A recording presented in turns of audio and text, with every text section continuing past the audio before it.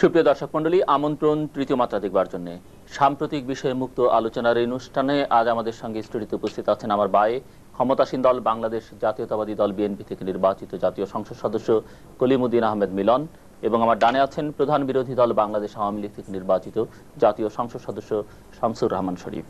আমি প্রথমে সরকার দলীয় মান্য সংসদ আপনার কাছে জানতে চাইব যে আমরা সবাই জানি, দেশবাসী জানে যে মুক্ত বুদ্ধি মুক্ত চিন্তার মানুষ, ডক্টর হুমায়ুন আজাদের উপরে যে আক্রমণ হলো, তাকে হত্যার যে চেষ্টা নেওয়া হলো, আমরা লক্ষ্য করছি ডক্টর কামাল হোসেনের মতো একজন যার ভদ্র লোক হিসেবে সুখ্যাতি আছে, রাজনৈতিক মত তার যাই হোক না কেন, তিনি যাচ্ছিলেন পার্বত্য অঞ্চলে দেশের, সেখানে তাকে যেতে বাধা দেওয়া হলো, তার তার উপরে হামলা হলো, তার গাড়ি বহরের উপরে। বিরোধী দলীয় নেত্রীর বিভিন্ন সভা সমাবেশে বাধা দেওয়া হচ্ছে এমনকি তাদের প্রধান বিরোধী দলের একুশের কর্মসূচিতেও বাধা দেওয়া হচ্ছে। প্রতিদিন মানুষ খুন হচ্ছে। রাজনৈতিক কর্মী, নেতা সহ নানান সাধারণ মানুষ খুন হচ্ছে, ব্যবসায়ীরা খুন হচ্ছে। ডাকাতি বলেন, লুণ্ঠন বলেন, নানান কিছু হচ্ছে। সব মিলিয়ে দেশের মানুষ কি খুব স্বস্তিতে আছে বলে আপনার মনে হয়? সরকার দলীয় একজন আইন প্রণেতা হিসেবে।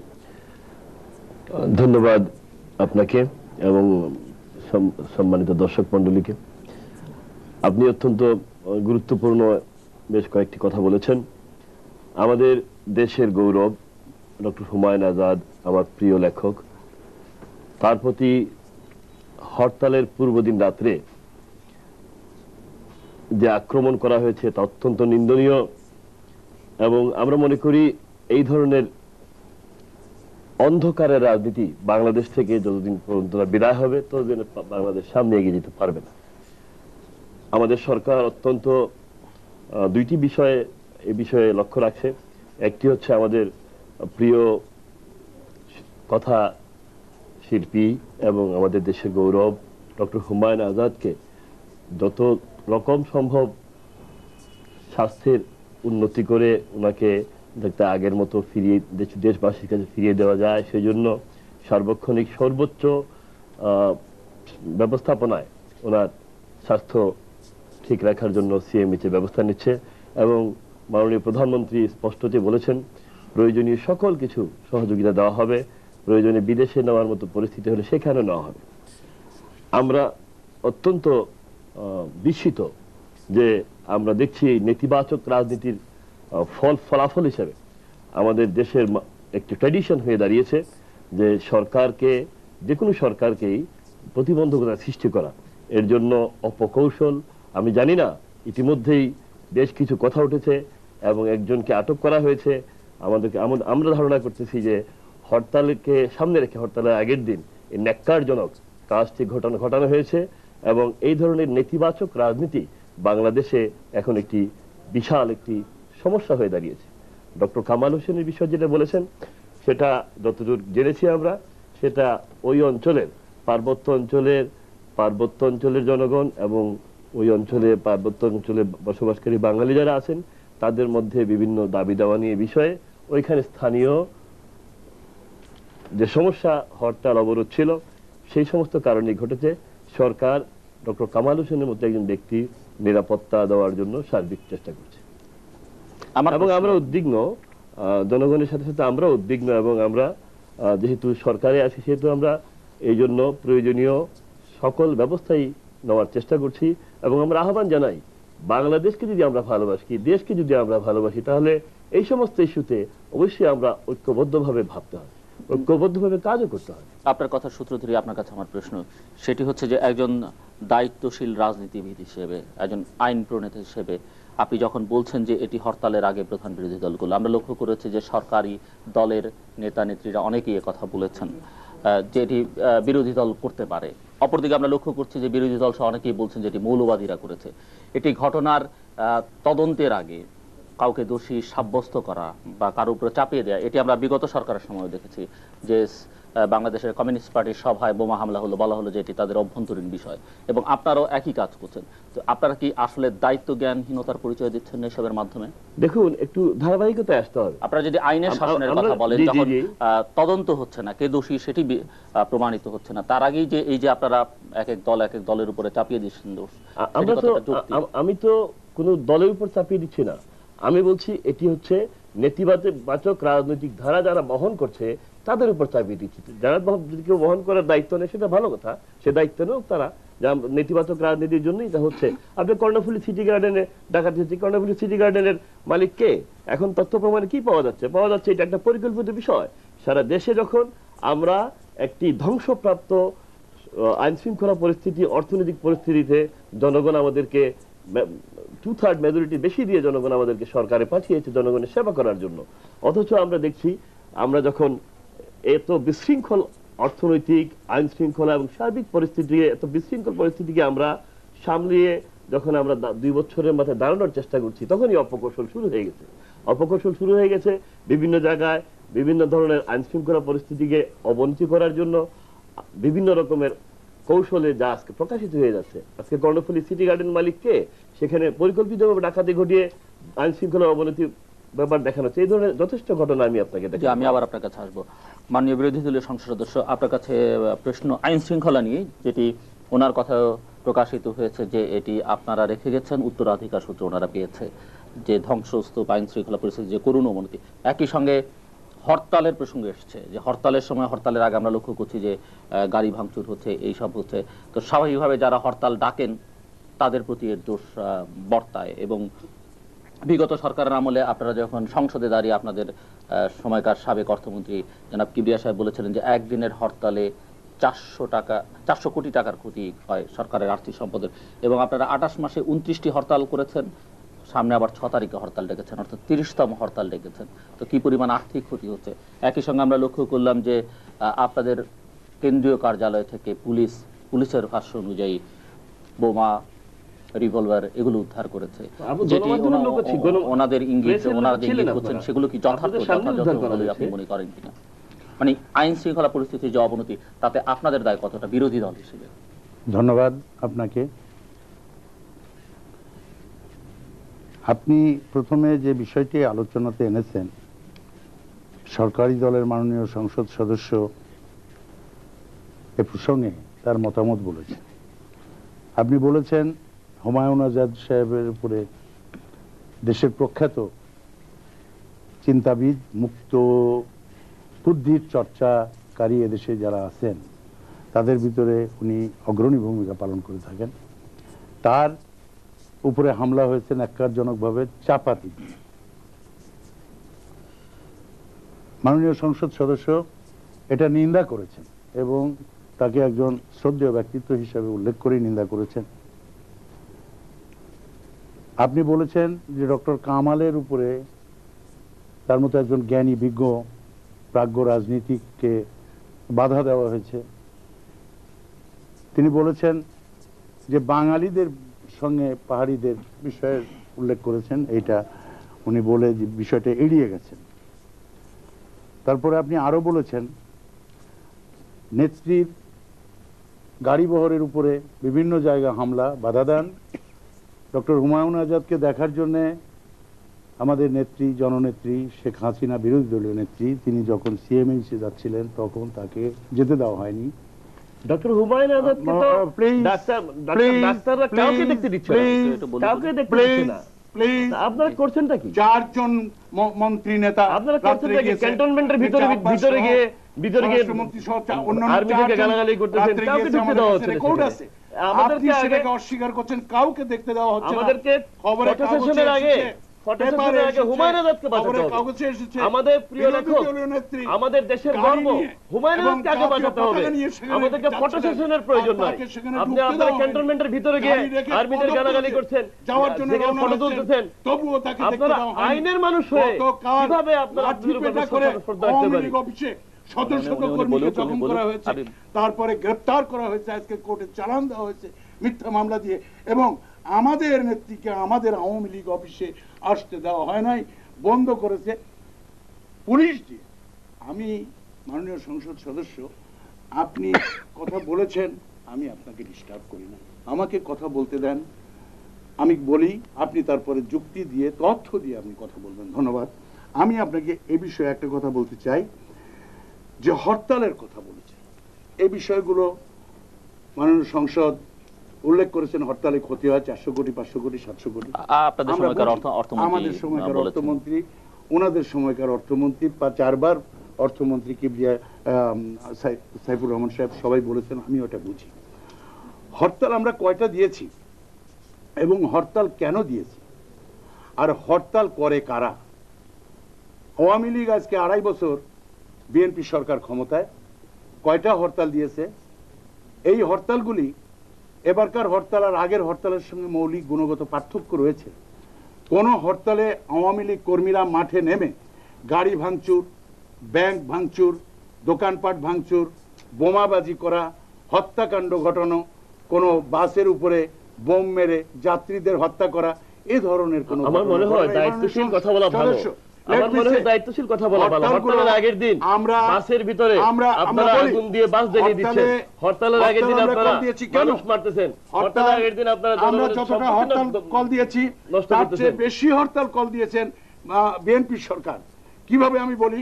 আমার আমরা যখন বিরোধী দলে ছিলাম এখন- এখন- আপনারা হরতালের দিন কি করতেন? হরতাল আমলে- বিরোধী মিছিল করে আমলে বিএনপি ল্যাবরেটরির কি সামনে। ল্যাবরেটরির সামনে আপনাদের এমপি নেতৃত্বে গুলি করে মানুষ হত্যা করা হয়েছে। সেই সুমনের আত্মা আজও কাঁদে কথা বলতে দেন। ল্যাবরেটরির সামনে। কথা বলতে দেন। আজ কয়েকদিন আগে নাটোরে কথা তো আপনারা বলেনি। নাটোর নাটোরে একটি হরতাল হয়েছে। নাটোরে এই হরতালটি কে ডেকেছে? আপনাদের বিএনপির মন্ত্রী দুলু সাহেব হরতাল ডেকেছে। কেন? উনি অবশ্য আপনার তো- কেন হরতাল ডেকেছে? আপনার তথ্য ভুল। দুলু সাহেব হরতাল ডাকেন নাই। হরতাল নাটোরে ভুল জনগণ আমি নাটোর গিয়েছিলাম। জনগণ হরতাল ডেকেছে। দুলু সাহেব দুলু সেটাকে নিয়ন্ত্রণ করে জনগণকে নিরাপত্তা দেওয়ার আমি চেষ্টা গিয়েছিলাম। করেছেন দুলু সাহেব হরতাল ডাকেন আপনি ভুল তথ্য দিবেন না। দুলু সাহেবের একটি পাড়া আর মানুষ, ভুল তথ্য পাড়া দিবেন হচ্ছে আওয়ামী লীগের শাহপাড়া চৌধুরী পাড়া। চৌধুরী দুলু সাহেব তিনার পাড়া একই গ্রামের ভিতরে। তার পাড়া পাশাপাশি অর্ধ মাইলের ভেতরে অর্ধ মাইলও না কোয়ার্টার মাইল দুশো গজের ভেতরে। মাঝখানে শুধু কয়েকটা ধানের জমি। আমি সেখানে গিয়ে দেখেছি আজ কয়েকদিন আগে আমরা গিয়েছিলাম সেখানে বাইশটি বাড়ি ভস্মীভূত করে দেওয়া হয়েছে পুড়িয়ে দেওয়া হয়েছে এবং আটটি দোকান পুড়িয়ে দেওয়া হয়েছে। আহাজারি করছে মানুষ গাছপালা পর্যন্ত দেখতে দেখতে যেতে পেরেছিলেন? আমি নিজে গিয়েছি কালো পতাকা কালো পতাকা, সাদা পতাকা, আমরা গিয়েছিলাম সেখানে আওয়ামী লীগ নেতাদের যেতে দেওয়া হয় নাই। যাদের বাড়ি পুড়েছে, যারা ক্ষতিগ্রস্ত হয়েছে, তাদের যেতে দেওয়া হয় নাই। বাধা দেওয়া হয়েছে। জেলা আওয়ামী লীগ নেতৃবৃন্দকে বাধা দেওয়া হয়েছে। রাজশাহী থেকে এসছে আওয়ামী লীগের নেতৃবৃন্দ। গুলি বন্দুক নিয়ে রাস্তার মাঝে পুলিশ প্রোটেকশন দেয় নাই। পরে আমরা গিয়েছি। সেখানে আমাদের উপনেতা জনাব অ্যাডভোকেট হামিদ সাহেব, সংসদের উপনেতা, তিনি সহ আমরা পাঁচ ছয় জন মেম্বার পার্লামেন্ট সেখানে গিয়ে দেখে এসেছি। কি বিভৎস তাণ্ডব সেখানে হয়েছে। আপনার- আপনার দুই দিন দাগ আগেই- কাটে নাই? তার যে একজন একজন যুবককে একজন যুবককে যে হরতাল দিনে কল করেছে। দুপুরে হত্যা- হত্যা করা হলো। এই বিষয়টা আপনার বক্তব্য একবারও আসলো না। করল কারা? এত- এত- টেন্ডারবাজি আর লুটের টাকা ভাগাভাগি নিয়ে দলের অভ্যন্তরে যে সন্ত্রাসীদের দিয়ে যে আপনাদের গডফাদাররা আপনাদের গডফাদাররা যেসব সন- সন- সন্ত্রাসীদের দিয়ে হত্যা করাচ্ছে আওয়ামী লীগ নেতাদের সেই সব সন্ত্রাসীদের সঙ্গে গন্ডগোল হয়ে টাকার ভাগাভাগি নিয়ে দুলু সাহেবের বাতি তাহলে সরকারি দল যখন বলে যে এই ধরনের হত্যাকাণ্ড যেগুলো হচ্ছে আপনারা যেগুলো অভিযোগ আনছেন এরকম অধিকাংশ ক্ষেত্রেই হয়তো এক সন্ত্রাসী আরেক সন্ত্রাসী কি আইন শৃঙ্খলা পরিস্থিতির অভিযোগ আপনারা আপনার এই কথার মধ্যে দিয়ে কিন্তু সেটি প্রমাণিত হয়। লালিত সন্ত্রাসীদের হাতেই তারা খুন হয়েছে। আমার এলাকা আমি তাহলে আমাকে কথা বলতে দেন। জাতীয় রাজনীতি রাখেন। আমার এলাকায় আমাকে কথা আমার দেন। আচ্ছা, আপনি- আপনি- আপনি মিনিট শেষ করুন, শেষ করুক, পাবনা জেলায় পাবনা জেলায় আমার কনস্টিটুয়েন্সিতে আমাকে আমার কথা কনস্টিটুয়েন্সিতে আটঘরিয়া বলছে। আতাইকুলা দুটি ইউনিয়নে বাংলাদেশে আমার কারা পৃষ্ঠপোষকতা করল। পাবনা জেলায় এটাকে দুশো লোককে হত্যা করা হয়েছে। খুন করা হয়েছে আমার প্রিয় মাতৃভূমি বাংলাদেশ। কনস্টিটুয়েন্সির সন্ত্রাসী ছয়চল্লিশ জন লোককে সাথে খুন করা জড়িত। হয়েছে খবরে কাগজ আজকে কারা এটাকে আজকের করল? খবরে কাগজ আছে। সরকারি আমার এই সমস্ত পাঁচজন লোককে হত্যা করে লাইন দিয়ে রাখা হয়েছে পাঁচজন লোককে কয়েকদিন আগে আমার বলতে দিন। চারজন আচ্ছা, লোককে হত্যা করে লাইন দিয়ে রাখা হয়েছে ছয়চল্লিশ জন লোককে একটা দুইটা তিনটা গ্রামের ভিতরে ছয়চল্লিশ জন লোককে খুন করা হয়েছে আমার কনস্টিটুয়েন্সিতে আট ঘড়িয়া উপজেলায় আতাইকুলা সংক্ষিপ্ত পুলিশ করুন। থানা গারুলিয়া লক্ষ্মীপুর এবং এই তিনটি গ্রামে আমার পাবনা জেলায় গোয়ালপাড়া? চরতারাপুর মানে ইউনিয়নে চারটি গ্রামকে পুড়িয়ে দেওয়া হয়েছে। আমি আমরা গিয়েছি আমরা দেখেছি খুন করা হয়েছে এবং সবচেয়ে ন্যাক্কারজনক জানেন? করলে উনি বলুক আবার তারপর আপনি বলবেন। আমাদের লোকদের হত্যা করে আমাদের লোকদের কেই আসামি করা হচ্ছে নিজের পিতাকে হত্যা করা হত্যা করা হয়েছে। এরপরে কিন্তু উনি কথা বলতে থাকলে শুনবেন না। আসামি শেষ না করলে তো আমি কথা বলব উনি উনি ইন্টারাপ্ট করেছেন। আমি ওনার কথার ভিতরে দশ মিনিট একটি শব্দ উচ্চারণ করিনি। আমি কথা বলতে গেছি আপনি ইন্টারাপ্ট না না আপনি যেভাবে বলতেছেন এভাবে হয় না। না আপনি যেভাবে বলতেছেন অসত্য আমাকে কথা কথা বলতে দেন। সংসদ থেকে বেরিয়ে এসছি। আমাকে আমাকে কথা বলতে সংসদে কথা বলতে দেওয়া হয় না। সংসদে রাজপথে সেদিন আঠাশ তারিখের হরতালে গিয়েছি রাজপথে আপনারা আমাদেরকে কি করেছিলেন মনে আছে? দিকে। তা করতে চাই না। আমি আছি আমার দুই পাশে doctor Abdur Razzak doctor Abdur Razzak member parliament Panchanan Biswas member parliament আজকে প্রধানমন্ত্রীকে পুলিশ এসে নারায়ণগঞ্জে আটকে রেখে দিলেন সারাদিন বেশি লোক ছিল। শামীম উসমান। মাত্র 200 লোক ছিল আমার সঙ্গে। আপনাদের মুখে পুলিশ সন্ত্রাসের কথা বলেন। সমানে লাঠি দিয়ে পেটাচ্ছে। আপনারা সন্ত্রাসের- সমানে লাঠি দিয়ে পেটাচ্ছে। আপনারা- আপনারা সন্ত্রাসের বসে পড়েছি আমরা। সংগঠন। বক্তৃতা করছি। শুনছেন না আপনাদের সমানে লাঠি দিয়ে পেটাচ্ছে। আমরা কয়দিন আগে তো দর্শকরা কিন্তু আপনাদের কথা শুনছেন না। আপনারা সময় ধরে ধরে বলুন। আস্তে বলি। উনি বলতে চাইছেন তাহলে উনি একটু। উনি একটু পনেরো এটা তো দফা। যুক্তিসঙ্গত নয় আমাকে কথা পনেরো বলতে দফা দিয়েছি আমরা বলেছিলাম যে এক এখন তো আপনাদের এক দফা এক মাসের আমি আমি আপনারা পনেরো মেনে দফায় নেন। আসছি সবগুলো পনেরো দফার প্রসঙ্গে আসছি আমাকে কথা বলতে দেন এই জোট সরকার একটা সন্ত্রাস সরকার। এবং এই সরকারের এখনই এই মুহূর্তে পদত্যাগ করা উচিত যদি পদত্যাগ না করেন তাহলে এদেশের মানুষ অতীতে যেমন গণ অভ্যুত্থান করে এদেশের সমস্ত অপশক্তিকে এই দেশের তক্তে তাউস থেকে নামাইছে এই দেশের জনগণ জি আমরা আমরা আমরা আমি আবার পরে আসব। পার্লামেন্ট ওনারা থেকে করবেন কিনা সেটা শুনি ওনাদের আমরা রাজপথে জি। সন্ত্রাস সম্পর্কে আমার কথা আছে। সন্ত্রাস পার্লামেন্টে কথা বলতে দিবেন আমাদের- এখানে কথা বলতে দিবেন না। রাস্তায় কথা বলতে দিবেন। পার্লামেন্টে আমি আপনাকে চ্যালেঞ্জ করি পার্লামেন্টে আপনারা যতদিন ছিলেন পার্লামেন্টে আপনার আমার কথা শেষ চ্যালেঞ্জের কি আছে? আমি আপনাকে চ্যালেঞ্জ করি জনগণের সামনে দর্শকদের সামনে। দিয়ে? পার্লামেন্টে যতদিন আপনারা ছিলেন আপনাদের প্রাপ্য অংশের অন্তত পক্ষে একশো পঞ্চাশ পার্সেন্ট যদি বেশি কথা না বলেন তাহলে আমি জনগণের কাছে জবাব দিতে বাধ্য থাকব। আপনি রেকর্ড রেকর্ডে কথা বলেন। এখন আপনি সন্ত্রাসের প্রশ্নে আসেন। সন্ত্রাসের প্রশ্নে প্রিয় দেশবাসী সন্ত্রাস আজকে বাংলাদেশে হত্যা রাহাজানি এই সরকারের নিম্ন শুনেন, আপনি নিত্য নৈমিত্তিক কাম আমাকে এটা কথা ব্যবসা বলতে হয়ে দেন। দাঁড়িয়েছে। আমাকে কথা বলুক, বলতে দেন। বলুক, তারপর শুনেন আপনি আবার আমাকে কথা বলতে দেন। এই প্রসঙ্গে ছোট্ট একটা গল্পই বলি। আস্তে আস্তে বলেন। আমাদের দেশে কথা আছে। জি আমাকে কথা আমাদের বলেন, জি, বলুন। আপনি যেভাবে কথা বলতেন এই প্রসঙ্গে একটা ছোট্ট গল্প বলি। আমাদের দেশে কথা আছে। গল্পের মতো একটা রেস্টুরেন্টে বসলে যদি দেখেন যে পঞ্চাশ ষাট জন লোক চা খাচ্ছে দেখবেন কোনায় কয়েকজন লোক হাত পা ছুড়ে কথা বলতেছে। তার টেবিলে সাপোর্ট দিচ্ছে। জিজ্ঞেস করলে জানা যাবে একটি বিশেষ রাজনৈতিক দলের লোক তারা। সুতরাং কথা বলার সময় আমার মনে হয় যুক্তিসঙ্গত ভাবে কথা বলা উচিত।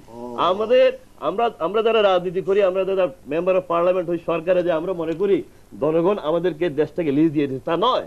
আমাদেরকে তাদেরকে সেবা করার জন্য দিয়েছে। সন্ত্রাস সম্পর্কে আছে। সেবা? সন্ত্রাস সম্পর্কে আছে। সেবা? আমি সন্ত্রাস সম্পর্কে কথা বলি নয় বলি, টাকার সেবা? আমরা আসব দ্রব্যমূল্যে আসব দ্রব্যমূল্যে আসব বিশ হাজার সন্ত্রাস- টাকার রড। আমাকে সন্ত্রাস সম্পর্কে কথা বলতে সন্ত্রাসের শেষ ষাট করি আমরা। হাজার টাকার আমাকে সেবা- কথা বলতে দেন। আমাকে কথা বলতে দেন। নয় টাকার চাউল পনেরো টাকার সেবা? সন্ত্রাস সম্পর্কে ও শুনে। বারো টাকার কেরোসিনের তেল ছাব্বিশ টাকার সেবা?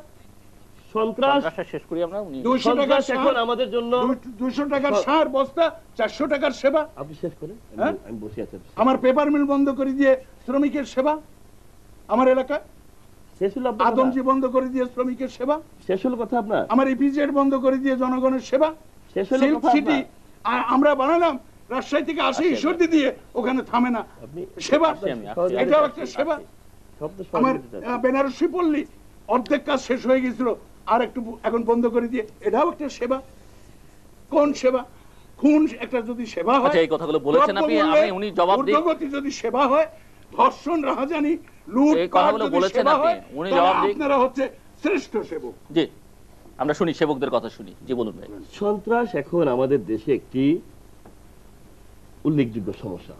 আমরা বিগত সরকারের অর্থনৈতিক বিশৃঙ্খলা আইন শৃঙ্খলার বিশৃঙ্খলা সমস্ত কিছু আমরা একটা সিস্টেমের মধ্যে এনে সামষ্টিক অর্থনীতিতে আমরা সফলতা অর্জন করে আমরা ম্যাক্রো ইকোনমিক মিক্সে যাচ্ছিলাম ঠিক সেই সময় ওনারা আবার এই বিষয়টিকে উস্কে দিয়েছেন সন্ত্রাসকে ওনারা প্রতিষ্ঠা, প্রাতিষ্ঠানিক রূপ দিয়েছেন ওনারাই বলেছেন, সরকার প্রধান হিসাবে চট্টগ্রামের বক্তব্য বলেছেন, তোমরা হাতে চুরি পরে থাকো নাকি একটা লাশ পড়লে দশটা লাশ। চট্টগ্রামের চট্টগ্রামের অপহরণের নগরী তারপর আমাকে কথা আমার কথা শুনেন। আপনি। বিগত সরকারে বিগত সরকারের সরকার প্রধান আমি জন রাম- প্রকাশ্যে জনসভা বলেছেন। অথচ উনি সরকার প্রধান। সরকার প্রধান হলে কোনো কোনো অন্যায় কোনো অন্যায় এইভাবে কথা বলে তো কথা বলে কথা বলে। এইভাবে কথা বলে তো কথা বলে। দুজন যাবে না। একসঙ্গে কথা বললে কেউ শুনবেন না তাহলে আপনি আরও কিছু বলেন আমি তারপরে বলব। বিগত সরকারের অসত্য উক্তি না আমি অসত্য হলে আমাকে আপনি বলবেন পরে অসত্য হলে আপনি বলবেন যে এটা অসত্য হয়েছে। পরে বলবেন। বিগত সরকার প্রধান চট্টগ্রামে গিয়ে বললেন, একটা লাশ ফেললে তোমরা দশটা লাশ ফেলে দিবে। সন্ত্রাসকে ওনারা প্রাতিষ্ঠানিক রূপ দিয়েছেন। সারা দেশটাকে ভাগ করে গডফাদার, আজকে ওনারা আমাদেরকে বলেন গডফাদার। জনগণ জানে কারা গডফাদার, আপনারা জানেন কারা গডফাদার। গডফাদার করে সারা দেশটাকে ভাগ করে দিয়েছিলেন। ফেনীতে দিলেন জয়নাল হাজারিকে। নির্বাচনের পূর্বে আপনাদের নেত্রী বললেন, আমার সোনার ছেলে শামীম উসমানকে দিয়ে আমাদের দেশনেত্রী সহ আমিও ছিলাম সেই গাড়ি বহরে।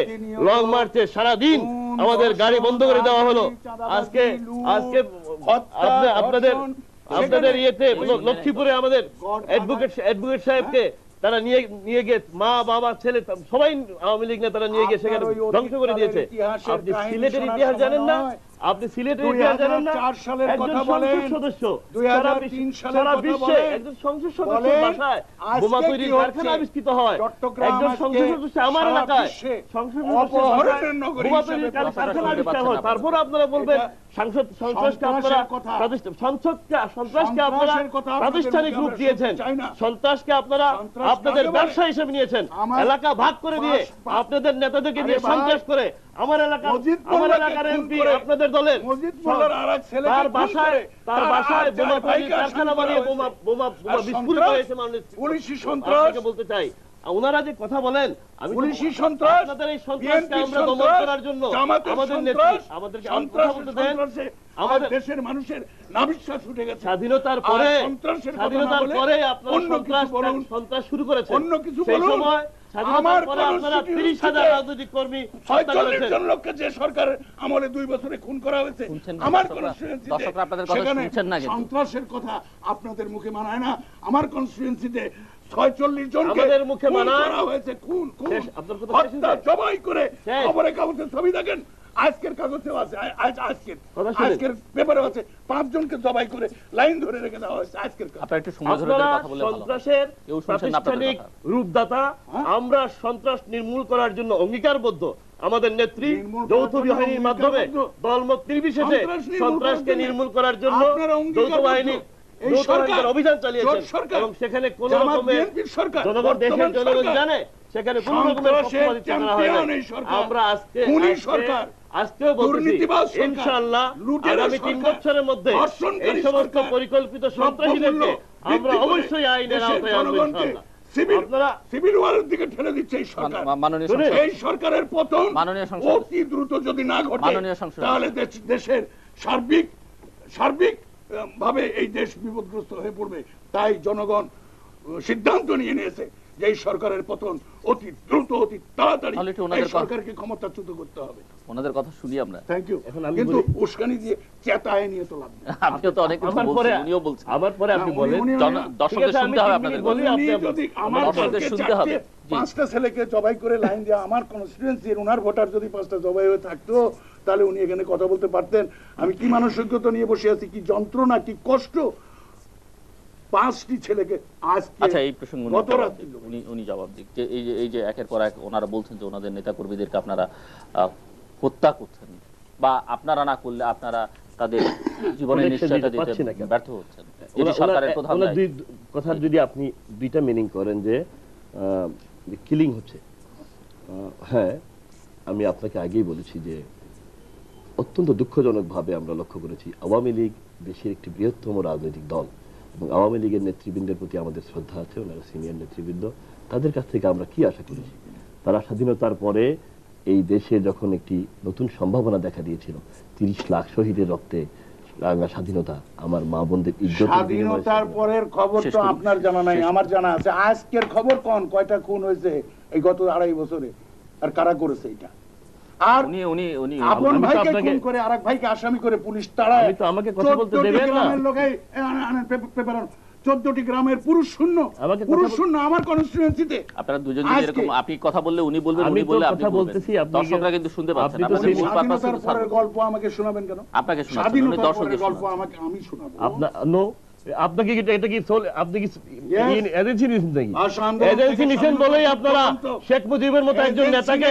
পঁচাত্তর সনে নিজেরাই মেরে ফেলেছেন আপনারা পঁচাত্তর সনে আপনাদের লোকেরাই শেখ মুজিবকে মেরে ফেলেছে আপনাদের মতো এই ধরনের অর্বাচীন রাজনৈতিক নেতৃবৃন্দের কারণে একটি সম্ভাবনাকে। আপনারা ধ্বংসকর ধ্বংস করে দিয়েছেন স্বাধীনতার পরে. আপনারা স্বাধীনতার পরে আপনারা discussion should not be continued. Stop, stop. অর্বাচীন না আপনারা তো কথা বলতে দিচ্ছেন না মধ্যে একজন অর্বাচীন আমাকে বলে অর্বাচীন? আপনি ডবল অর্বাচীন। আপনারা দুজনেই বলছেন। দুজনেই কথা বলছেন not রাজনীতি আপনার. কথা একজন বলুন। Participate in আপনাকে this- বলি নাই। in this program. আপনাকে বলি নাই। আওয়ামী লীগের অর্বাচীন নেতা আওয়ামী লীগের নেতাদের কাছ থেকে রাজনীতি শিখেছেন।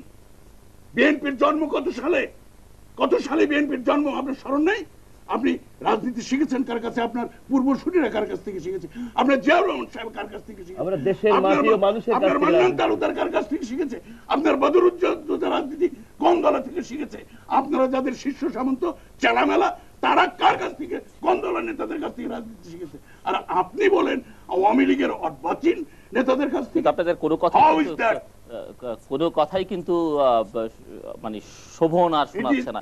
আমার মনে হয় যে আপনারা একজন একজন একজন করে কথা বলুন উনি বলুন উনি পাঁচ মিনিট বলুক তারপর আপনি পাঁচ মিনিট. আওয়ামী লীগের অর্বাচীন নেতৃবৃন্দ। আপনি কিন্তু অনেক কিছু বলেছেন বাই দিস টাইম যাই হোক এটা ওনাদের অভ্যাস। যাই হোক এটি দর্শকরা জনগণ দেশের জনগণ বিচার করবে এবং কেউ যদি খারাপ কথা অশোভন কথা বলে থাকেন জনগণ সেটি অবশ্যই ভালোভাবে গ্রহণ করবে না। যে উনি পাঁচ মিনিট বলুক আমার মনে হয় তারপর আবার আপনি বলবেন। আমি সময় সেটা আপনি জবাব বলে পাঁচ মিনিট কেন? এক মিনিটও বলতে দেবো সত্য অসত্য সত্য অসত্য জনগণ নির্ধারণ কি অসভ্যের মতো কথা? এই এটি অর্বাচীন অর্বাচীনের চেয়ে আর দুঃখজনক কথা কি আপনি বলুন আপনি আপনি উনি যা বলবেন জনগণ দেশের জনগণ বিচার করবে আপনি তারপরে বলবেন। আসলে সমালোচনা ওনাকে ওনার ভাষায় কথা বলতে দিন আপনি আপনার ভাষায় বলবেন। একজন- ভালো কিংবা মন্দ। একজন- ভাষা সবাই একজন বুঝছে। রাজনীতি সেটি দর্শকরা বিচার করবে। একজন রাজনৈতিক কর্মীর একটি রাজনৈতিক দলের দল এবং একজন রাজনৈতিক কর্মী সবসময় জনগণের কাছে দায়বদ্ধ। সমালোচনা সহ্য করার আহ, ক্ষমতা থাকা উচিত। উচিত শব্দটা আমি বললে যদি আমার সিনিয়র লিডার উনি মাইন্ড করেন তখন আমি আবার দুঃখিত বলতে আমার আপত্তি নেই। কিন্তু আমি বলতে চেয়েছিলাম স্বাধীনতার পরে আমাদের আমাদের প্রিয় দেশের আমাদের আমাদের প্রিয় মাতৃভূমি বাংলাদেশ এই বাংলাদেশে তিরিশ লক্ষ শহীদের রক্তে আমার মা বোনদের ইজ্জতের বিনিময়ে এই আমাদের প্রিয় মাতৃভূমি বাংলাদেশের তখন একটি সম্ভাবনা দেখা দিয়েছিল। আজকে আপনি দেখেন ভিয়েতনামের যুদ্ধের পরে তারা এই কর্মকাণ্ডগুলো করছে না। না করে আজকে তারা পৃথিবীতে সকল ক্ষেত্রে এক্সপোর্টে প্রোডাকশনে শিক্ষায় সকল ক্ষেত্রে আজকে তারা কম্পিটিশন করে আজকে তারা, আপনি জানেন আমাদের বিভিন্ন ফিল্ড লেভেলে আমাদের বিভিন্ন এক্সপোর্ট লেভেলে তাদের সাথে কম্পিটিশন করতে হচ্ছে। তারা তাদের স্বাধীনতার পরে এই সমস্ত কর্মকাণ্ড করেনি। আমি বলতে চাইছিলাম আমার সিনিয়র লিডার হয়তো বুঝতে ভুল করতে পারেন, অথবা আমার অজ্ঞতার মূর্খতার কারণেও ভুল হতে পারে। উনি হয়তো একটু উত্তেজিত হয়ে গেছেন, আমি দুঃখিত, আপনি এভাবে উত্তেজিত হবেন না। বয়সও বেশি, তো কখন কি ঘটে যায়, এখানে ঘটলে তো অসুবিধা। তো সুতরাং আমার মনে হয়, স্বাধীনতার পরে একটা সম্ভাবনা দেখা দিয়েছে। শেখ মুজিব রহমান এবং অন্যান্য নেতারা সেই সম্ভাবনাকে ধরে রাখতে পারেন নাই। শেখ মুজিবুর রহমানের মতো নেতা ওনাদের দলের নেতাদের দ্বারা নিহত হয়েছেন এবং ওনাকে বলতে হয়েছে যে, আমার ডান পাশে চোর, বাম পাশে চোর, আমি কি করব? সেই সময় একটা সম্ভাবনা নষ্ট হয়ে গেছে। এই সম্ভাবনা আবার দেখা দিয়েছিল শহীদ রাষ্ট্রপতি জিয়াউর রহমানের সময়। তিনি এই দেশটিকে আপনাদের নিশ্চয়ই মনে পড়ে সেই রাখাল রাজা শহীদ রাষ্ট্রপতি জিয়াউর রহমানের কথা। তিনি বহুদলীয় গণতন্ত্র ফিরিয়ে দিয়েছিলেন এবং এদেশে উৎপাদনের রাজনীতি কথাটা সম্পৃক্ত করেছিলেন। আমরা মনে করি রাজনীতি মানেই হরতাল এবং স্লোগান, মিছিল এগুলি মনে হয় রাজনীতি। কিন্তু একটি দেশকে সামনের দিকে এগিয়ে নিয়ে যাওয়ার জন্য, স্বাধীনতার পরে একটি দেশকে আত্মনির্ভরশীল করার জন্য, একটি দেশকে মাথা উঁচু করে দাঁড়িয়ে দেশের গর্ব করে বলার মতো যে আমি বাংলাদেশের নাগরিক, সেই জায়গায় নিয়ে যাওয়ার জন্য রাজনীতি এবং রাজনৈতিক কর্মকাণ্ড এবং রাজনৈতিক দলগুলো পলিটিক্যাল ইনস্টিটিউশনের অনেক কাজ, শুধুমাত্র হরতাল এবং রাস্তায় বিশৃঙ্খলা করাটাই কাজ নয়। এই কাজটি যখন আবার শহীদ জিয়া শুরু করলেন, সম্পদ সৃষ্টি বিজ্ঞান। যখন রাজনীতিতে সম্পৃক্ত করলেন, তখন তিনি আবার নিহত হয়ে গেলেন। আরেকটা সম্ভাবনা নষ্ট হয়ে গেল। আমরা লক্ষ্য করেছি, একানব্বই সনে যখন জনগণ বিএনপিকে, দেশনেত্রী বেগম খালেদা জিয়াকে প্রধানমন্ত্রী করে আবার যখন দেশে ক্ষমতা বসালো, তখন আবার একটি স্বাভাবিকতা ফিরিয়ে আসার সম্ভাবনা শুরু হয়েছিল। বাংলা পৃথিবীর সব জায়গায় প্রশংসিত হচ্ছিল কর্মসূচিগুলো, বিভিন্ন ধরনের কর্মসূচি আমাদের প্রাথমিক শিক্ষা কি হবে? আমাদের স্বাস্থ্য সেবা কি হবে? আমাদের আইন শৃঙ্খলা পরিস্থিতি কীভাবে হবে? আমাদের রাজনৈতিক দলগুলো কীভাবে পরিচালিত হবে? সেগুলো, সেই সমস্ত বিষয়ে একটা শৃঙ্খলা ফিরে আসার সম্ভাবনা শুরু হয়েছিল। এবং বাংলাদেশ তখন আমাদের মাননীয় অর্থমন্ত্র, পরিকল্পনা মন্ত্রী তখনও ছিলেন বিশিষ্ট অর্থনীতিবিদ এম সাইফুর রহমানের নেতৃত্বে। তখন বাংলাদেশে দেশনেত্রী বেগম খালেদা জিয়ার নীতি তখন বাংলাদেশকে এমার্জিং টাইগার হিসাবে বাংলাদেশের অর্থনীতি টেক অফ করার পর্যায়ে ছিল। আবার সেই নেতিবাচক রাজনীতি শুরু হয়ে গেছে। শুরু হওয়ার পরে আমরা ছিয়ানব্বইতে আমরা তখন দুই সনে বাংলাদেশ আওয়ামী লীগ কি বলে জনগণের কাছ থেকে ভোট চেয়েছিল আপনারা তা জানেন। তারা বলেছিলেন এই ইলেকট্রনিক মিডিয়ার মাধ্যমে এবং বিভিন্নভাবে, যা আমরা আমাদের বিগত দিনের কর্মকাণ্ডের জন্য আমরা ক্ষমা প্রার্থী। আমাদেরকে একটি বারের মতো আমাদেরকে ক্ষমতায় আসীন করেন। ওনাদের ওনারা জনগণ একটি বারের মতো ওনাদেরকে 1996 সালের নির্বাচনের আগে। ওনাদেরকে একটি বারের মতো ক্ষমতায় ওনাদেরকে বসানো হয়েছে। বসানোর পরে যে অবস্থা ওনারা সৃষ্টি করেছিলেন আপনার দুই মিনিট সময় আছে। জি, যে অবস্থা ওনারা সৃষ্টি করেছে আপনারা জানেন আপনারা জানেন সারা দেশে অর্থনীতিকে বিশৃঙ্খল করে দিয়ে আজকে এই দুই বছরে এলজিডি তে যান দেখা যাবে আওয়ামী লীগের আমলে দুইশো কোটি টাকা এখনও অনাদায়ী। কোনো প্ল্যান অ্যাপ্রুভ নাই কোনো প্রজেক্ট অ্যাপ্রুভ নাই পানি উন্নয়ন বোর্ডে যান সকল জায়গায় অর্থনীতিকে ধ্বংস করে দেওয়া হয়েছে। রেমিটে ওনারা রেখে মাত্র one point zero nine billion dollar ওনারা ইয়ে রেখে গেছেন রিজার্ভ এখানে আমরা এখন two point seven million dollar আপনারা আপনারা জানেন যে ওনারা প্রবৃদ্ধির হার এখন আমাদের five point three three percent রেমিটেন্সের অবস্থা এমন হয়েছিল যে বৈদেশিক মুদ্রার রিজার্ভ থাকতো না। আজকে আমাদের রেমিটেন্স রেমিটেন্স বৃদ্ধি পেয়ে প্রায় two point seven billion dollar মার্কিন ডলারের উন্নতি হয়েছে। এমনি হয়েছে নাকি? এগুলো আমরা ব্যাংকিং ব্যবস্থাকে ঠিক করেছি, আমরা মানি লন্ডারিং আইন করেছি, এবং আমরা যে সমস্ত বেআইনি পন্থায় বৈদেশিক মুদ্রা লেনদেন হতো, তাদেরকে শক্ত হাতে, কঠোর হাতে দমন করেছি। আমরা ব্যাংকিং সেক্টর অর্থনৈতিক সেক্টরকে একটা শৃঙ্খলার মধ্যে নিয়ে এসেছি। অথচ আমরা দুঃখজনকভাবে দেখি, যখন আবার আবার আমরা টেক অফ করার জন্য রেডি হয়েছি, ঠিক সেই সময় সেনাবাহিনীর ক্যান্টনমেন্টের ভিতরে গিয়ে তাদেরকে উস্কানি দেওয়া হচ্ছে তাদেরকে গালাগালি করা হচ্ছে। একজন অসুস্থ বেশ বরণ্য কথাশিল্পী যার এখনও এখনও তার অবস্থার সম্পূর্ণ উন্নতি হয় নাই তাকে কাউকেই দেখা করতে দেওয়া হচ্ছে না অথচ একটা ফটো সেশনের জন্য একটা সংকট সৃষ্টির করার জন্য একটা সংকট সৃষ্টি করার জন্য ক্যান্টনমেন্টের ভিতরে ছবি তোলা যায় না এটা কেনা জানে? অথচ আমরা দেখি যাদেরকে আমরা শ্রদ্ধা করতে চাই সেই সমস্ত নেত্রীরা নিজের হাতে সেখানে ফটো তোলেন সেনাবাহিনীকে গালাগালি করেন আমি বুঝি না। আমি জানি না। আমরা যদি মনে করি রাজনৈতিক দলের নেতৃবৃন্দরা আমরা যদি বিএনপি আওয়ামী লীগ জামাত ইসলাম এই সমস্ত কয়েকটা রাজনৈতিক দলের নেতৃবৃন্দরা যদি মনে করি যে দেশ আমাদের কাছে জিম্মি এটা ভুল দেশের নাগরিকরা দেশের নাগরিকরা অবশ্যই সঠিক সিদ্ধান্ত নেবেন। ধন্যবাদ। উনি আবার ওই প্রশ্নে ফিরে গেলেন যে নাম উল্লেখ না করে উনি বলেছেন, কিন্তু সবাই বোঝে। বিরোধী দলীয় নেত্রী, জননেত্রী শেখ হাসিনা দেখতে গেলেন হুমায়ুন আজাদ সাহেব। সেখানে তার গাড়িতে ফ্ল্যাগ ছিল, তিনি প্রোটোকলে সেখানে নিয়ে যাচ্ছিলেন। কিন্তু তার গাড়ি ভরকে থামিয়ে দিয়ে পায়ে হেঁটে তিনি যাচ্ছিলেন, তার কারণ তার শিক্ষক হুমায়ুন আজাদ সাহেব, তার শিক্ষক। আমি একটু ইন্টারাপ্ট করি যে আইএসপিআর বলছে যে মাননীয় প্রধানমন্ত্রী এবং মাননীয় রাষ্ট্রপতিকে মাননীয় রাষ্ট্রপতিকেও তারা নিষেধ করেছে ক্যান্টনমেন্টে ওনাকে সেমিসে দেখতে যাবার চারজন। বিএনপি নেতা রাত্রে গিয়ে হুমায়ুন আজাদ- সাহেব ঘরের ভিতর ঢুকেছে দেখেছে খবরের কাগজে এসেছে আজকের অনেকগুলো পত্রিকা এগুলো নিউজ আছে আপনি দেখুন আপনারা দেখুন আমি অনুরোধ করব যে এই বিষয়টা সবাইকে জানতে তারপরে বিরোধী দলীয় নেত্রীকে যেভাবে হেনস্থ করা হয়েছে বিরোধী দলীয় নেত্রী গেছেন মিলিটারিকে গালাগালি করতে, এই সমস্ত ন্যাক্কা আবার মিথ্যা মামলা দেওয়া হয়েছে তার নামে। এইসব ন্যাক্কারজনক ঘটনা এই সরকারের পক্ষেই সম্ভব করেছে। যে কথাটা নিয়ে আলোচনা আমি, আমার বক্তব্য, যে দেখুন, আজকে আমি যদি এক হাজার বছরের বাঙালির ইতিহাস টানতে থাকি, সেই সময় এখানে নাই। উনি অর্থনীতির কথা বললেন। প্রবৃদ্ধি বেশি হয়েছে অমক বেশি হয়েছে বিলিয়ন বিলিয়ন ডলার রিজার্ভে আছে। তারপরে আরও কি কি বললেন যে অর্থনীতি একটা সুস্থ অবস্থায় এসছে। শৃঙ্খলা ফিরিয়ে শৃঙ্খলা ফিরিয়ে এনেছে সবই ঠিক হয়েছে। এইসব ব্যাপারে বলতে আমি বিরক্ত বোধ করি তার কারণ আমার কাছে ডাটা আছে তথ্য আছে। এবং বিদেশি সমস্ত অর্গানাইজেশনের ওয়ার্ল্ড ব্যাংক এবং অন্যান্য অর্গানাইজেশন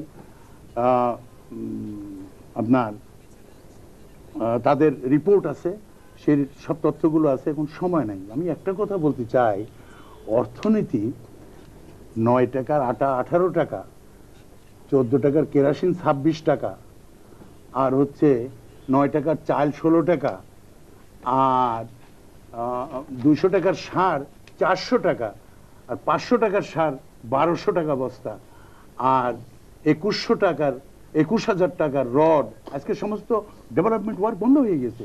একুশ একুশ হাজার টাকার রড, বিয়াল্লিশ হাজার টাকা ছিল কয়েকদিন আগে, আজকে এইটা ষাট হাজার টাকায় গিয়েছে। তার কাঁটা গুনে, ওই যে চিকন চিকন তার, যেটা দিয়ে বেড়া টেড়া বাঁধে গ্রামে, এবং তার কাঁটা যেটা দিয়ে পেরেক দিয়ে ঘরটার ছায় এবং কাজ করে, এই বিশ টাকা কেজি ছিল। আজকে বাষট্টি টাকা কেজি, আর গুণের তার যেটা বাইশ টাকা কেজি ছিল, আজকে এই কয়েকদিন আগে। আজ এক মাস আগে যেটা ছিল, এই আমরা আলটিমেটাম এই পনেরো দফা দেওয়ার পরে এটা বেড়ে হয়ে গেছে আশি টাকা কেজি, আশি টাকা এইটটি টাকা। এখন বিলিয়ন ডলার আর ট্রিলিয়ন ডলার আর অর্থনীতি, আর এর শৃঙ্খলা, আর এর ওই যে কি বলে প্রবৃদ্ধির হার, ধুয়ে পানি খাবে মানুষ, কর্মসংস্থান নাই, মানুষের ক্রয় ক্ষমতা নাই। কি অবস্থায় আমার ভাইয়েরা জানেন না। মন্ত্রী মহোদয়রা জানেন না, আজকে সারা বাংলার মানুষ কি দুঃসহ যন্ত্রণায় কষ্টে আছে। আয় বাড়ে নাই, অথচ ব্যয়ে সংকুলন করতে পারছে না তারা। মানুষের যে অবস্থা, কোনোদিন কোনো সরকারি টের পায় নাই। স্বৈরাচারী কোনো সরকার কোনোদিন টের পায় নাই। যেদিন গণেশ উল্টাইছে সেই দিন টের পাইছে আয়ুব খান সাহেব টের পান নাই, কেউ টের পান নাই, ওই এহিয়া খান সাহেব টের পান নাই আগের সরকার অনেকেই টের পান নাই, কিন্তু যেদিন গণেশ উল্টাইছে, সেদিন টের পাইছে। ফ্রান্স রেভলিউশন হয়েছে রাশিয়া আমেরিকা হয়েছে। এই দেশের আজকে বাস্তব অবস্থা আমি এখানে বলি আপনাকে। আমি বেশি আলোচনা আমার দরকার নাই আমার কথা শেষ হয়ে গেছে। এই অবস্থার এক মাস আলটিমেটাম আমরা দিয়েছিলাম ওনারা করেন নাই দাম আরও বেড়ে গেছে। আর আজকে আলটিমেটামের ব্যাপার না আজকে মানুষ কি দিয়ে করবে? গুলি বন্দুক ব্যারেল ওই আর্মি মিলিটারি পুলিশ ওই সন্ত্রাসী বাহিনী খুন হ্যান ত্যান। ওই বগুড়ায় ধরা পড়ল সেদিন এখানে কয়টা, একে ফোর্টি সেভেন এই সব দিয়ে হবে না। আবাবিল পাখির মতো আমি কোরআনের আয়াত একটা বলতে চাই। তাইরান আবাবিল তারমিহিম ফাজ আলাহুম কাসপিম মাকুল।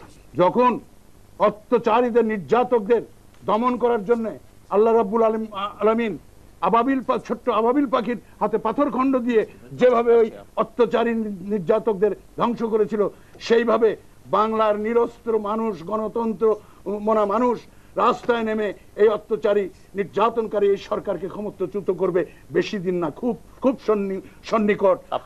আপনাদের শুভ দিন আমি শুধু এটাই বলব নাসরুম অন্য- মিনাল্লাহি ফাতহুন করিব। জনগণের জয় হবে। জি, অবশ্যই।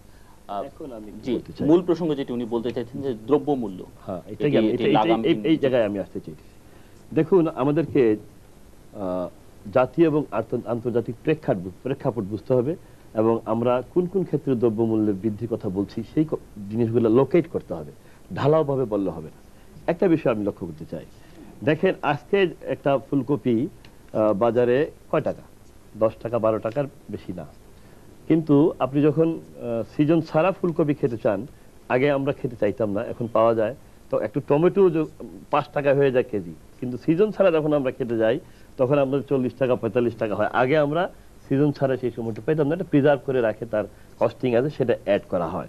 সেই জন্য অনেক সময় দেখা যায় যে চিৎকার হচ্ছে। সয়াবিন তেলের কথা বলা হয়। আমি সম্মানিত দর্শক এবং আমি 60 তো- টাকা, আমি 60 কথা আমাকে কথা বলতে দেন।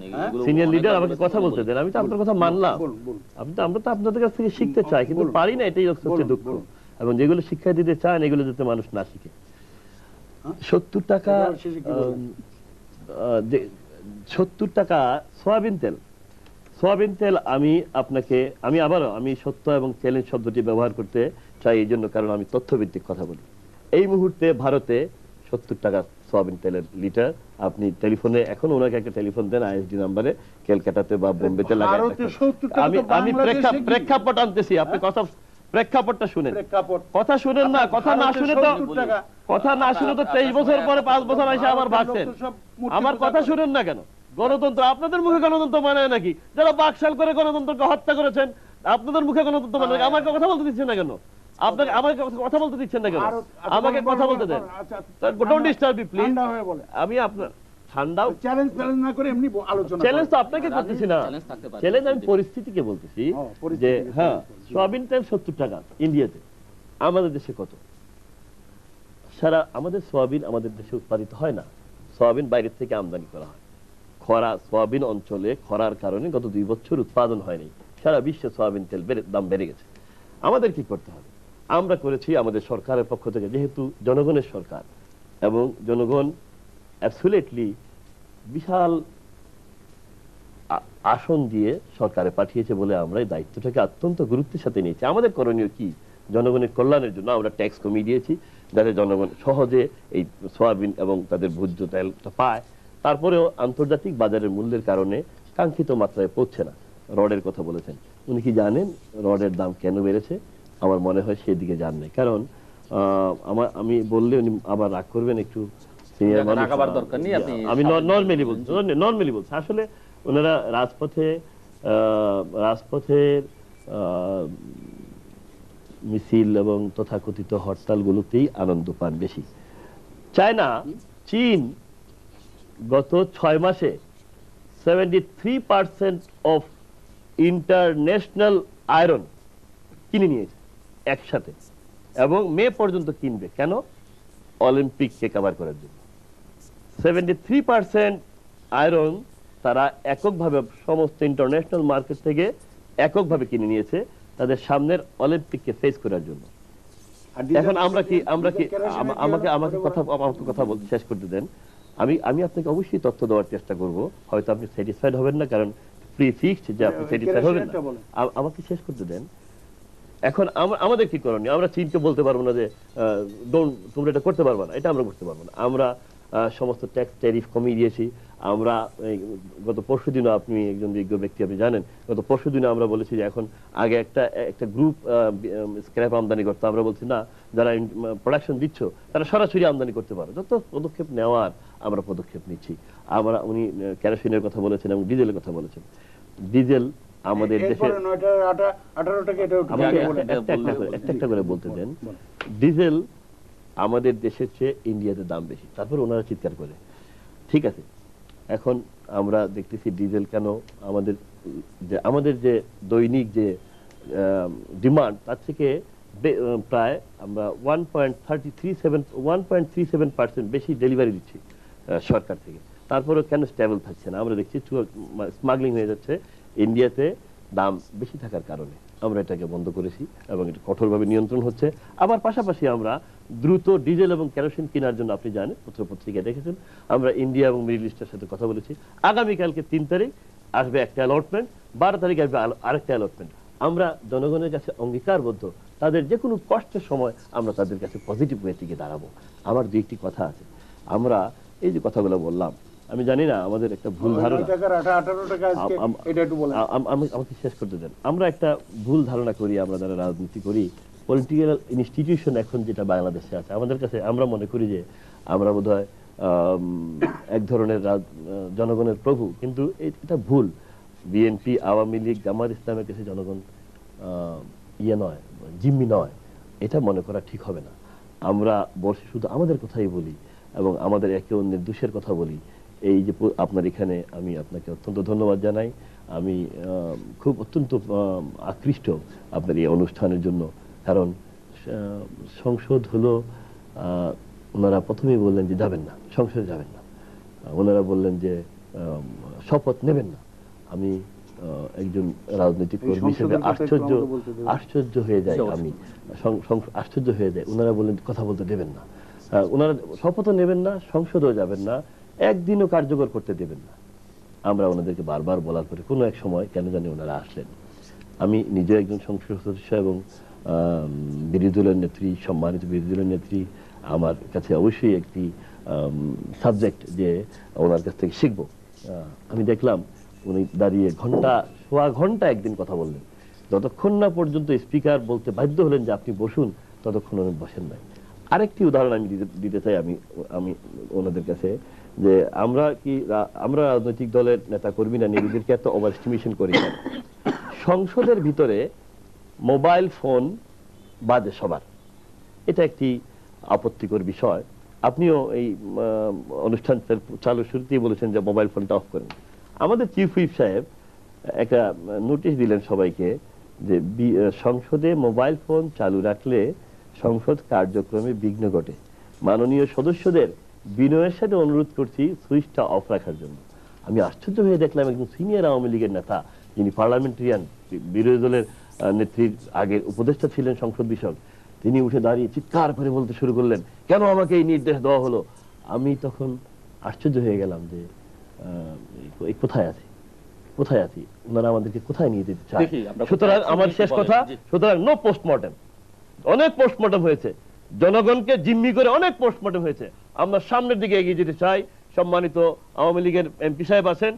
সকল পলিটিক্যাল ইনস্টিটিউশনকে আমার পক্ষ থেকে, আমাদের দলের পক্ষ থেকে, আমার ব্যক্তিগত আকাঙ্ক্ষা হচ্ছে সামনের দিকে এগিয়ে যাওয়ার জন্য শুধুমাত্র জনগণ এবং আমার প্রিয় মাতৃভূমি দেশ বাংলাদেশকে বাঁচানোর জন্য সামনের দিকে এগিয়ে যদি আমরা না যাই। শুধু যদি পোস্টমর্টেম করি, তাহলে আমরা পৃথিবীর মানচিত্রে থেকে হারিয়ে যেতে পারি। আমরা সোমালিয়া, ইথিওপিয়া হতে চাই না। আমরা মালয়েশিয়া হতে চাই।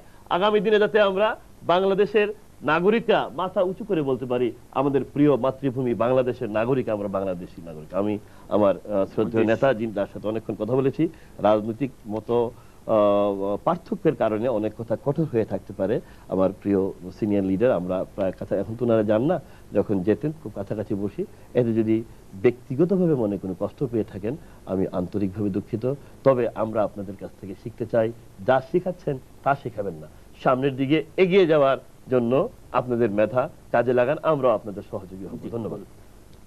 সংসদ প্রসঙ্গে বলতে চাইছিলেন। সংসদ প্রসঙ্গে আমার সম্মানিত সংসদ সদস্য বলেছে যে কে মোবাইল ফোন নিয়ে জোরে জোরে কথা বললেন নাম উল্লেখ না করে বলেছেন। বিরোধী দলীয় নেত্রী এক ঘণ্টা না কত মিনিট বক্তৃতা করেছেন এটা তিনি বলেছেন। এই যে কথাগুলো পার্লামেন্টারি ফর্ম অফ ডেমোক্রেসি পৃথিবীর যে সমস্ত দেশে আছে, এবং democratic practice in parliament and in outside বাইরে, ভেতরে democratic practice maintaining democratic norms এই সমস্ত রীতিনীতি এবং কার্যপ্রণালী বিধি আমাদের রয়েছে আমাদের বাংলাদেশ পার্লামেন্ট পরিচালনার জন্য।